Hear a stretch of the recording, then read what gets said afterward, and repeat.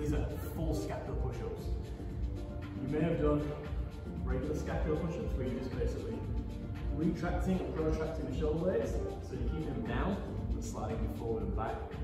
This method is going to involve a full push-up, and instead of keeping your shoulder blades pinned like regularly advised, you're just going to allow them to slide. So basically you're going to come down, shoulder blades are going to squeeze together, you can bring your hands up to the ground if you want to, make sure they're as far back as you can, and then we're going to go the opposite. So as you push up, when you get to the top, of ending there, in one fell swoop, you're going to punch just a little bit. So I'm just trying to slide my scapula apart. I'm not trying to pack a foot in there. Done normally, squeeze, squeeze, protract, squeeze, protract.